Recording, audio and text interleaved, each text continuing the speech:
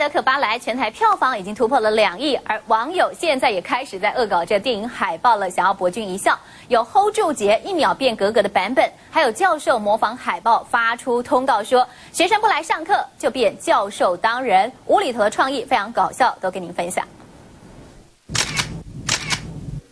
当红电影《赛德克·巴莱》海报被网友大搞哭搜，来看看海报中间原本的导演和电影名称变成了林老师上的课不来，上头小标也被改成如果不上课是你们最后决定，那我就让你们看见被当的成绩，连上映日期也被换成选必修课，看来是张教授准备当人的通告版。另外还有胸罩翻起来版本，记得派对是清朝主题，那就来看看胸罩的妙用，连莫娜鲁道都画上害羞小腮红，来一秒钟变格格。电影上映后，网友怎能放过经典海报大搞创意？不但有交警开罚单版本、拒拆迁扛瓦斯桶版本，还有最新赛德克拔蜡版本，连同样当红电影《那些年我们一起追的女孩》海报，女神沈佳宜都变成了萌版巴莱，还穿着雪白色短裙，真的让网友笑翻。